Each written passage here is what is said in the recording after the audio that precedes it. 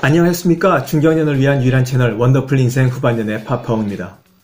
남편이든 아내든 다 마음속에 침실에서 해보고픈 판타지가 있습니다. 좀 더 음탕하고 저속하고 질펀한 사랑놀이를 해보고픈 욕구가 가득하지만 개면 적어서 배우자에게 해보자고 말하지 못하거나 거절당하지는 않을까 하는 생각에 망설이거나 또는 넌지시 해본 제안이 몇 번 거절당했기에 이젠 포기했을 수도 있습니다. 오늘은 이런 심리적 장벽을 넘어 우리 중장년 부부들이 마음에 품고 있던 판타지를 마음껏 즐기기 위한 팀웍을 복원하는 것에 대해 이야기해보고자 합니다. 구독과 좋아요 버튼 누르는 거 잊지 마시고 영상 끝까지 함께 해주시 기 바랍니다. 감사합니다. 지금처럼 부부관계가 밍밍하다 못해 지루하고 하나도 재미가 없다면 우리들은 결혼 생활에 아무런 의미도 느낄 수 없게 되고 그래서 언제고 뿌리채 흔들릴 수 있습니다. 우연과 필연을 가장한 어떤 계기가 방아쇠를 당기는 것은 시간 문제일 뿐 어쩌면 도화선에 이미 불이 붙어 타들어가고 있는지도 모를 일입니다. 이게 눈에만 보이지 않을 뿐이지 우리들은 이미 느끼고 있거든요. 바로 따분하고 지루하고 밍밍하고 무덤덤하고 무미건조한 그 집안 분위기가 바로 실상의 단면을 드러내는 거라 하겠습니다. 연애 시절에도 주도적으로 진도를 빼나간 사람이 대개 남편이었듯 지금도 아내의 욕구를 충분히 풀어주고 해방감을 맛볼 수 있게 해줄 사람도 역시 남편뿐입니다. 그래서 억눌린 감성으로부터 아내를 해방시키기 위해 남편들이 짜잔 하고 나서야 되는 거죠. 아내가 적극적으로 자신을 표현하며 즐거움을 만끽할 수 있도록 남편이 도와줘야 되는데 그러면 남편부터가 개방적인 분위기로 아내와의 팀웍을 복원해야 합니다. 변호사인 제 친구의 판타지는 미국의 클린턴 대통령이 백악관 집무실에서 인턴이었던 모니카 르윈스키와 즐겼던 것처럼 사무실에서 여직원과 하는 상황입니다. 말 그대로 판타지죠. 그래서 아내와 합체를 하는 날이면 아내는 직장녀처럼 정장으로 차려입고 화정도 합니다. 이 친구는 그런 아내를 탐색하고 타이트하게 차려 입은 정장을 하나하나 벗기면서 판타지를 즐기며 욕구와 스트레스를 풀어내는 거죠. 아예 오해하실까봐 말씀드리는데 우리가 갖고 있는 판타지라는 것이 제 친구의 경우처럼 그렇게 코스프레일 수도 있고 전혀 다를 수도 있겠습니다. 사람마다 생각이 다 다르듯 그 판타지의 종류도 그만큼 다양하겠죠. 각자가 품고 있는 판타지를 즐기게 되면 부부 사이가 더 스릴 넘치게 되고 활력이 샘솟게 됩니다. 그래서 오늘은 아내와 질펀하고 음탕하게 즐길 수 있는 기초 작업인 팀웍을 복원하는 데 대해 이야기해 보겠습니다. 아니 또 이 얘기야? 뭐 화끈하게 쉽게 하는 방법 없어? 이런 생각을 하시는 분이 계실지 모르겠어요. 하지만 아내와의 사이가 삐그덕거린다면 질펀하고 음탕하며 저속하기까지 한 그 즐거움을 맛볼 수 없습니다. 그래서 팀웍이 꼭 필요한 이유죠. 이게 귀찮아서 밖에 나가서 프로들과 하시는 분들이 계시죠. 밖에 나가서 프로들과 돈, 돈 주고 관계를 갖는다고 생각해봐도 마찬가지입니다. 아무리 돈을 좋다선 치더라도 상대방 감정 상하게 해서 좋은 서비스 받을 수 없잖아요. 감정 상했으니 대충대충 빨리 끝내겠죠. 속으로 욕주거리 엄청 하면서 말이죠. 전에도 말씀드렸다시피 밖에 나가서 그 돈 주고 하는 것은 불법이네 합법이네를 떠나서 건강을 해치는 자극적이지만 건강을 해치는 마이너스 행동입니다. 절대 몸에 이로울 수가 없어요.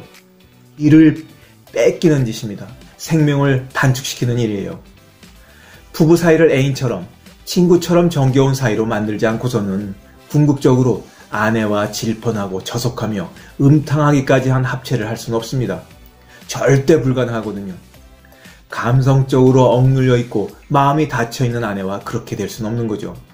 그래서 정성을 들여 오랜 시간 여유를 갖고 천천히 진도를 빼야 합니다. 마치 연애할 때 아내의 눈치를 보며 천천히 조심스럽게 사랑하는 마음 듬뿍듬뿍 안겨주면서 살살 진도 빼듯이 그렇게 해야 될 노릇이에요. 오늘은 손잡았고 다음엔 팔짱 끼고 그 다음엔 허리에 손 얹으며 걸을 수 있게 하고 우리 이렇게 온 정성을 쏟으며 그 진도 뺐던 적 있지 않습니까? 바로 그렇게 조심조심 살금살금 그리고 또 우리 남편들이 꼭 명심해야 할 것이 뭐냐면 남자들은 마음 없이도 여자와도 합체를 할 수 있지만 여자에겐 합체란 둘 사이가 사랑하는 관계임을 반영하고 입증하는 그 결정판입니다. 그치, 야노? 음, 맞아. 그지? 사랑 없이는 불가능한 게 합체예요. 그러니 판타지도 서둘러서 될 일이 아닙니다. 그러고 보니 20대 때 한 친구가 사귄 지 오래되지 않은 여자친구와 합체할 때의 이야기를 해줬던 것이 기억납니다. 모틀방에 들어섰으니 제 친구는 한시라도 빨리 여자친구 옷을 벗기고 거사를 지르고 싶어 안달이 났는데 여자친구는 옷 하나 벗길 때마다 옷자락을 붙잡으며 우리 사랑하는 거 맞지? 응? 나 정말로 사랑하는 거야? 이런 질문을 계속 하더랍니다. 아, 마음은 급한데 그 반복되는 질문에 답하며 어르고 달래느라 고생했다고 하더라고요. 그땐 그냥 그런가 보다 입 벌리며 해 하고 그 얘기를 들었지만 그게 여자의 본성이고 마음이거든요. 대부분의 여자는 본성적으로 사랑의 확신 없이는 절대로 합체에 이르지 않습니다. 그러니 그 여자친구도 마지막 순간까지 확인하고 또 확인한 걸 겁니다. 이건 결혼을 했어도 마찬가지라 생각해요. 부부싸움을 한 이후에 남편은 합체를 화해의 도구로 사용하겠다고 생각하지만 아내는 남편의 이런 시도 때문에 더 화가 나죠. 아내에게 합체는 화해의 도구가 아니라 화해의 징표여야 하는 겁니다. 그러니 용서도 빌지 않고 화해도 하지 않은 상태에서 밤에 슬금슬금 넘어오는 남편을 이해할 수 없게 되죠. 아내가 남편을 보면 오늘 있었던 일들을 제잘거리며 행복하게 하고픈 마음이 생겨나야 하고 남편과 합체를 하고 싶다는 생각이 우러나오게 만들어야 합니다. 우리가 연애할 때 생각해 보자고요. 여자가 남자에게 사랑에 푹 빠져 행복함에 젖어 있을 때 그 뭐라 말합니까? 그 절정이 이르렀을 때. 지금 들어보면 유치해서 소름 돋을 수도 아, 있겠지만 당신 닮은 애를 낳고 싶어. 이런 얘기 하잖아요.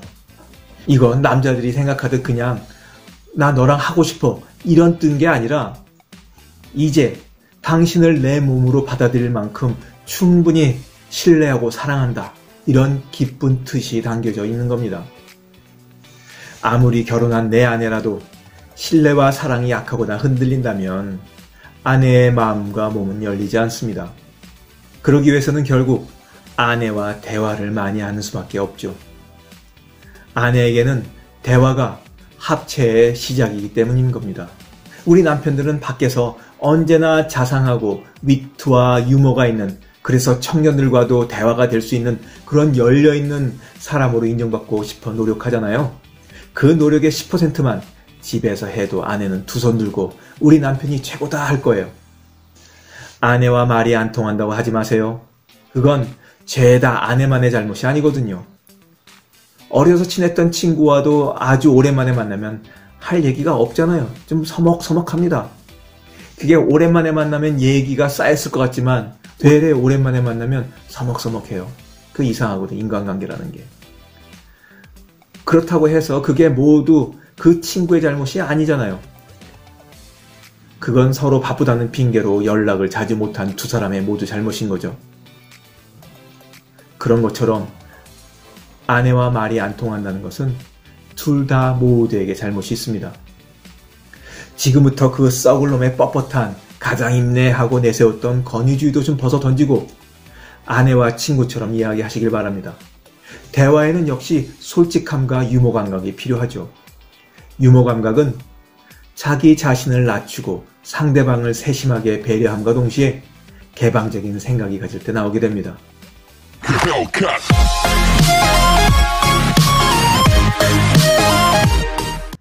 아내와 음탕하고 질펀하게 즐기기 위한 기초 작업은 팀웍을 복원하는 것이고 그것은 바로 아내와의 친밀한 관계입니다. 필수 조건이죠. 꼭 필요해요. 친밀한 관계를 복원하기 위해서 오늘부터 대화의 물꼬를 하나씩 터보시기 바랍니다. 뭐부터 이야기를 해야 될지 잘 모르시겠다는 분들은 연애할 때 재밌었던 추억에 대한 이야기부터 시작해보세요. 사랑의 감정도 다시 일어나고 이야기거리도 많아 대화하기엔 딱 좋습니다. 여러분의 가정에 오손도손 이야기가 오가는 시간을 기대하면서 오늘 영상 마치도록 하겠습니다. 원더풀 인생 후반년의 사랑 이야기는 계속됩니다. 감사합니다. 원더풀 인생 후반전을 계속 만나보고 싶으시다면 구독 부탁드리겠습니다. 감사합니다.